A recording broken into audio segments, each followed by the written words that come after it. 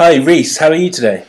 Great, Nick. This week this is our second time we're going to talk about the bees and neonicotinoids, which have been in the Yeah, they're in the news, mate. You Yeah, know, it's a big day yesterday in Brussels. We're very excited.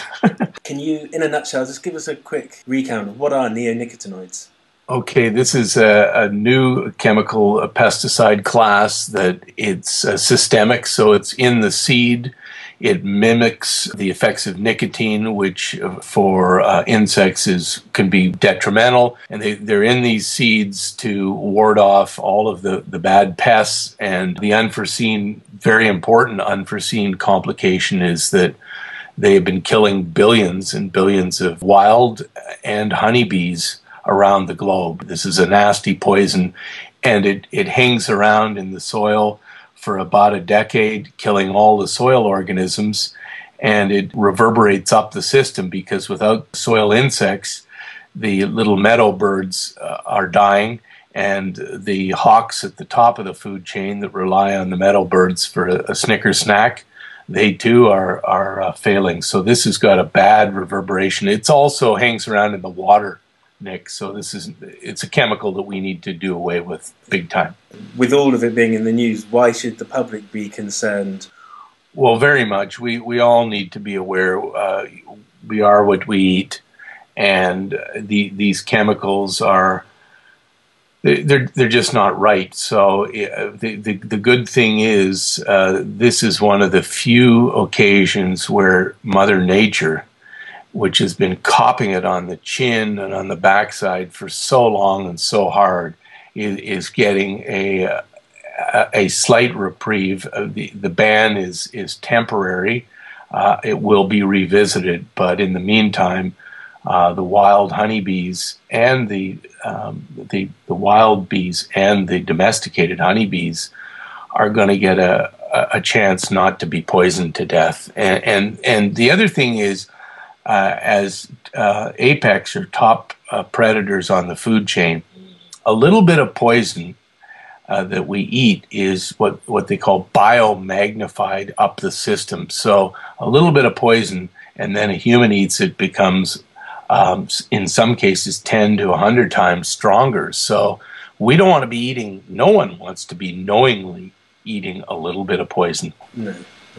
When you're here in the spring, one of the nicest places you can go to fantastic garden centres that we've got all over the UK. How are they contributing uh, positive or negatively to, to our bees? First of all, kudos to Friends of the Earth because they've taken this campaign to heart, and not just in the UK, but worldwide. They've stepped up and they're bringing this to the attention of Homebase, B&Q, Wickes, Notcutts, Hillier, Squires, Blue Diamond, Scats, and others. All of the garden stores across the UK said, right, we're not going to have any of these neonicotinoids in any products on our shelves. And early in January, it started in January, they began removing them from the shelves. And there's a very good reason why, because inadvertently, the concentration of these neonicotinoids in America were upwards of 120 times stronger in the little garden products than they were being applied in agriculture. So the UK garden stores said, not on our watch, it's going to happen. So it's just leadership. So now that leads us nicely on to how important are wild bees? Wild bees are are unbelievably important, Nick. We we never realized. fir- First of all, we have a very poor understanding of their populations. We do know that in the UK and in America and elsewhere, there are a number of bumblebees that are missing. Uh, some have gone extinct, or some are very, very close. But most of the bees around the globe, and there are 20,000 different species that we know of. There may be as many as 40,000, but there's 20,000 documented, and 95 or 6 or 7 percent are what we call solitary bees. They go about their business very quietly, all by their lonesome. And it turns out that the solitary and the bumblebees in the UK and elsewhere contribute immensely to the pollination on the farmer's field. And when I say immensely, they're much, much more effective at pollinating than the domesticated honeybees. And we have very poor survey numbers of them. We need all our bees, Nick. And, you know, the, the listeners in, in the UK need to understand that we're missing 50% of our domesticated honeybees over the last 25 years. And we don't even have good numbers on the wild bees. So the fact that they're dying, oh, yeah, we, we've got to protect everything. So, what can we do this spring to, to help out? I've got a strong feeling that we're, we're coming to a time where we we're going to all be asked to to plant gardens, uh, much like the the victory gardens for WW2. And I, I, say that because if the listeners remember last summer, it was such a, a bust with all of the rain that most of all the produce, which would have in the summer been grown uh, locally in the UK, had to be imported. So each of us need to grow some tomatoes we need to grow some peppers. If you've got a, a, yard, you, you need to have a fruit tree. You need to have an apple or a plum tree because you've got to, we got to, it's coming down to how we feed ourselves and how we afford to feed ourselves because the listeners will remember the cost of everything went up last summer. And by the way, it hasn't come down. I was so shockingly upset to hear that the uh, the chief scientist was almost an advocate for these poisons because on the market right now, there's a, a wonderful Indian uh, uh from the subcontinent India, uh, Indian tree, neem, N E E M. And neem is one of the most powerful trees in its insect uh, repelling properties. There's several names in the garden stores that the listeners can look for Azatin EC, Align, Bioneem, Margosan O.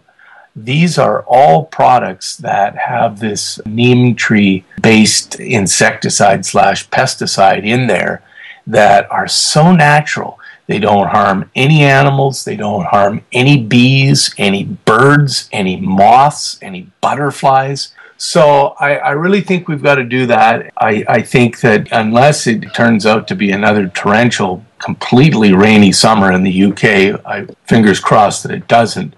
I would also remind the um, listeners that to add a, a, to take out a little saucepan of water each morning, leave it in your yard so that the bees can have something to drink because during the summer they too are thirsty.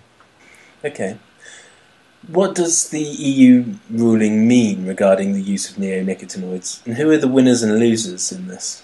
What it means, thankfully, is uh, three of these very toxic poisons will not be allowed to be put on seeds and toxify the soil and the water and kill the bees.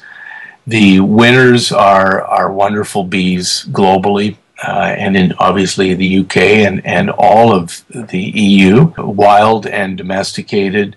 The people are winners because I, I don't subscribe to eating a little bit of poison. You know, a little bit of poison every meal or every bite of food sure. is, is not cool.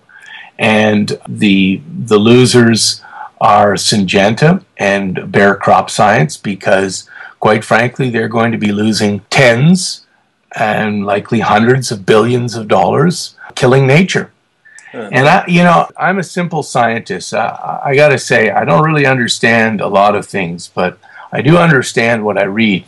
In 1982, at the United Nations in New York, every country, it's about 192 or 94 in that year, signed the World Charter for Nature. The first two articles are very clear. Number one, nature shall be respected and its essential processes shall not be impaired. Number two, the genetic variability on the earth shall not be compromised. The population levels of all life forms, wild and domesticated, must be at least sufficient for their survival and to this end necessary habitats shall be safeguarded. I would suggest that the countries that signed this, that would be every country, uh, might want to revisit what the. I was going to say, yeah, there's a lot of corporations who could do with reading that. It's very, very important because we do have to protect nature. You know, look, if we make a mistake, we make a mistake. This takes us on a slightly to, to the whole neonicotinoids and the precautionary principle. There's a new British chief scientific advisor, Sir Mark Walport, who's looking very much like a controversial figure from day one. And he stated that banning neonicotinoids could harm the EU's and the UK's future food production. It makes me very upset because I hear a very similar argument uh, from the country of Japan that they need to manage killing all of the whales so they can have something to eat. Uh, those two, uh, they're the most ludicrous, uh, non scientific, non protecting nature trains of thoughts I have ever, ever encountered. I imagine that the chief scientist in any nation, his or her primary job is not to fear monger. Fear mongering was something that the kings of 10,000 years ago did to keep everybody in a state of paralysis. So I'm shocked that an argument like that would be put forward. I think that this is a grand opportunity for our society at large to understand that life goes beyond the smartphone, the tablet, and your GPS in your brand new vehicle if you've got one. There are seven plus billion people. In eight and a half years, there's going to be eight billion people. We've got to get our act together because we're missing plants. The oceans are being brutalized within to a degree of their existence. Three out of every four breaths of air come from the ocean, irrespective of where you live on the globe. And our biggest concern right about now, in addition to having enough food to eat, is where we're going to get enough air for the next billion people to breathe. So, chief scientists be, should be concerned on matters like that.